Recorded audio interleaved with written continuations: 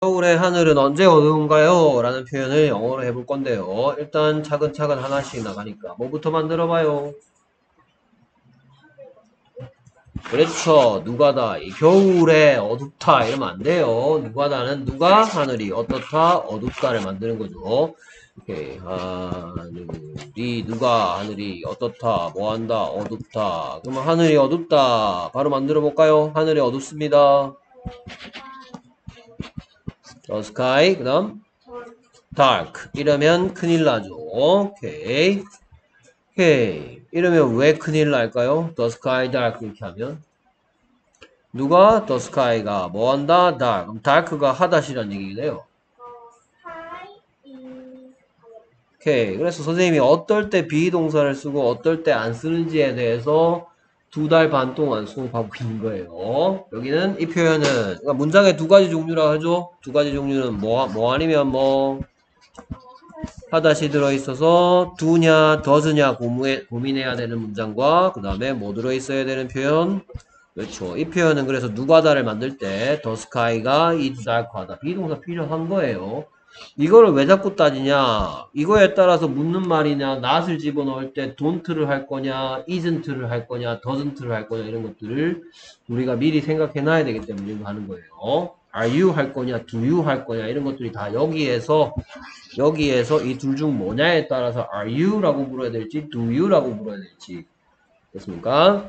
오케이. 그래서 누가 다 만들어 봤습니다. the sky is dark 그러면 묻는 말 차근차근 만들어 가기 시작하면 첫 단계 하늘이 어둡니? 그렇죠. 아까 전에 the sky is dark에서 is의 위치를 the sky 앞으로 누가 다를 누가니로 만들었네요. 아까 전에 여기 있었죠. the sky is dark였는데 is the sky dark 하면 물음표 붙일 수 있게 됐고요. 그럼 문장 완성합니다. 겨울에 하늘이 언제 어두워지나요? 그렇죠. 아, 아주 익숙하게 알고. 지우의 장점은 선생님이 봤을 때 지우의 장점이 여러 가지가 있는데 그 중 하나는 다른 친구들은 3시에 올게요 그럼 3시 반에 오는데 지우는 2시에 올게요 그러면 1시 59분에 옵니다. 첫 번째 장점이고요. 그 다음에 문장을 아주 청각 집중력이라고 하는데 좋아 문장을 잘 청각 집중력이 좋기 때문에 문장을 잘 익히는 것 같아요. When is dark sky? 아, When is the dark sky in the winter? When is the sky dark? In the winter. 오케이. 그래서 여기서 대답하는 사람은 당연히 이 귀찮은 the sky, 그 하늘이란 말 대신에 간단하게 대답할 때는 뭐로 바꿨습니까? 그렇죠. 그것, it으로 바꿔 쓰죠. 그래서 그것이 겨울에는 언제 어두워집니다. 이런 식으로 대답이 되어 있겠죠. 대답이 이렇네요. 오케이. 그래서 이 표현을 영어로 하면 그렇죠. It is dark at 5 in the winter. It is dark at 5 in the winter. 그래서 it은 뭐 대신 왔고 그렇죠. the sky 하늘 대신 왔고 at 5는 5시에 라는 뜻이니까 어떤 질문에 대한 대답입니까? 그렇죠. 언제 5시에 서로 어울리죠. 그래서 at 5라는 대답 듣고 싶어서 앞에서 뭐라고 물어봤어요? 그렇죠. When is the sky dark in the winter? When it is 아 when is it dark 한 거네요. 똑같이 When is it dark in the winter? It is dark at 5 in the winter.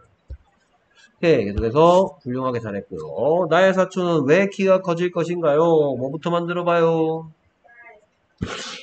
나의 사촌은 키 커질 것이다를 만들죠. 나의 사촌이 키 커질 것이다. 이게 누가다지? 누가 나의 사촌이 뭐 할 것이다? 키 커질 것이다. 그러면 나의 사촌이 키 커질 것이다 라는 표현을 바로 할까요? 하나씩 질문하고 대답하고 할까요? 선생님 마음대로 할까요? 오케이. 자, 그러면 바로 해보세요. 나의 사촌이 키 커질 것이다. My cousin will be. 그렇죠. 어, 질문 안 해도 모든 조건을 다 충족시켰네요. 언제 있을 일에 대한 얘기, 얘기니까 미래에 있을 일이니까 양념 뭘 뿌리고 위를 뿌리고 그 다음에 톨은 키 크다라는 하다시가 아니죠. 양념 뒤에는 뭐뭐 하다 키 큰이 아니고 키 크다가 와야 되니까 be동사가 필요하고 원래 my cousin은 be동사 is랑 쓰지만 양념을 뿌리는 순간 am, is, are는 전부 다 원래 모습인 be로 돌아간다라는 규칙을 선생님이 쭉 설명했었죠. my cousin will be tall. 내 사촌이 키 커질 것이다. 오케이 그러면 첫 단계 나의 사촌은 키 커질 것인가요? 그렇죠. be가 빼먹으면 안 된단 말이에요. 그 학생들이 흔히 be를 빼먹기 때문에 선생님이 이렇게 알려주고 있는 거예요. Will my cousin be tall? Will my cousin be tall? 문장 완성. 내 사촌이 왜 키가 커질 건데요? 그렇죠. Why will my cousin be tall? Why will my cousin be tall? 됐습니까? 오케이. 그러면 여기에 대해서 내 사촌이 남자라고 할 수도 있고 여자라고 할 수도 있는데 뭐 남자 사촌이라고 선생님이 뭐 가정해봤어요. 그래서 그의 부모님들이 키가 크시기 때문에 그렇죠. Because his parents are tall. Because his parents are tall. 오케이. 그래서 his parents의 뜻은 그의 부모님들이란 뜻이고 안만 길어봤자 they죠. 그들이 키가 크기 때문에 이 말인 거죠. they 뒤에는 비동사 are가 적당하고 to는 어떤 시니까 비동사가 필요했었죠. 오케이. 오, 훌륭하게 잘하고 있고요. 다음 표현. 그는 그 가게에서 무엇을 파니? 뭐부터 만들어봐요? 그렇죠. 그는 판다. 오케이. 질문하고 만들어 볼까요? 바로 만들어 볼까요? 이제 바로 만들어 봐도 될 것 같은데. 오케이. 그래서 그는 판다.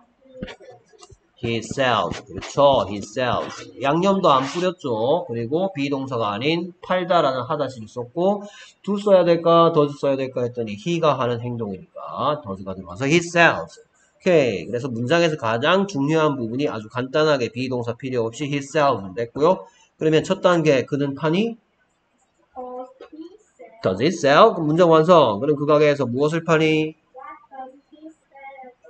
그렇죠. What does he sell at the store? What does he sell at the store? 오케이. 자, 그래서 이 다음 대답에 선생님이 지금까지 가르쳐 주지 않았던 새로운 것을 하나 알려주는데요. 자, at the store의 뜻이 그 가게에서 라는 말이죠. 그렇죠? 그러면 대답하는 사람이 그는 그 가게에서 뭐뭐를 팝니다. 이렇게 해도 되겠지만 그 가게에서 대신에 거기에서 그는 거기에서 뭐뭐를 팝니다. 이래도 되죠. 그렇죠? 그래서 이것도 안만 길어봤자 할 수 있다는 거예요. 그 가게, 그러니까 뜻으로 생각하면 그 가게에서란 말 대신에 거기에서라는 뜻의 단어가 있으면 at the store 대신에 이 뜻의 단어를 쓰면 되는 겁니다. 오케이. 자, 그러면 대답이 어떻게 되는지 보겠습니다. 그는 장난감을 거기서 판대요? 그렇죠. He sells toys there. He sells toys there. 오케이. 그래서 toys는 장난감들이란 뜻이니까 어떤 질문에 대한 대답이고 그렇죠. 무엇 장난감들 서로 잘 어울리죠. 그럼 there의 뜻은 뭐다? 거기에서 거기로 이런 뜻이야. 어디라는 질문에 대한 대답입니다. 어디 거기에서. 그러면 there가 뭐 대신 왔어요? 그렇죠. 그 가게에서 라는 말은 거기에서 라는 말로 서로 바꿔 쓸 수 있겠죠. at the store 대신 왔네요. 그래서 toys라는 대답 듣고 싶어서 앞에서 뭐라고 물었어요?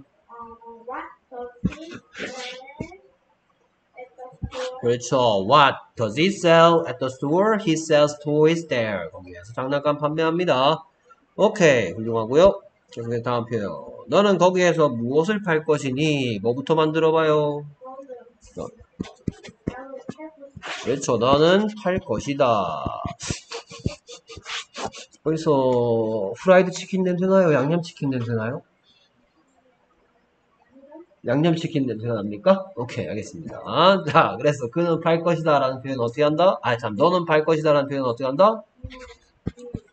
그렇죠. 양념 will이 들어갔죠. You will sell. 누가, you가, 뭐다? will sell. 너가 팔 것이다. 누가다. 문장에서 가장 중요하다고 저는 맨날 얘기하는 거. You will sell. 만들어 봤고요. 첫 단계, 너는 팔 거니? will you sell. 문장 완성. 그렇죠. What will you sell here? 뭐라고요? 그렇죠. 무엇을 you will sell을 묻는 말. Will you sell here? 오케이. 그랬더니 난 여기서 주스 팔 건데요.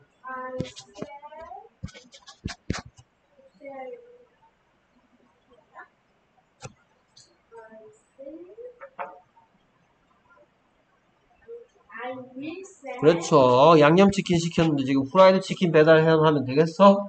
오케이. 나는 팔 것이다. I will sell. I will 그렇죠. I will sell juice here. 여름철에 오는데 앞에서 주스 같은 거 팔면 잘 팔리겠지. 됐습니다. 오케이. I will sell juice here. 오케이. 그래서 juice라는 말은 어떤 질문에 대한 대답이고 무엇? 주스 서로 잘 어울리죠. 그래서 주스라는 대답 듣고 싶어서 앞에서 얘는 이제 묻는 사람의 입장으로 바뀌니까 이렇게 바뀔 거고요. 그래서 주스라는 대답 듣고 싶어서 앞에서 뭐라고 물었어요? 그렇죠. What will you sell here? I will sell juice here. 오케이. 아주 훌륭하게 잘했습니다. 오케이. 10분 동안 8문장 했네요. 오케이. Very good. Excellent.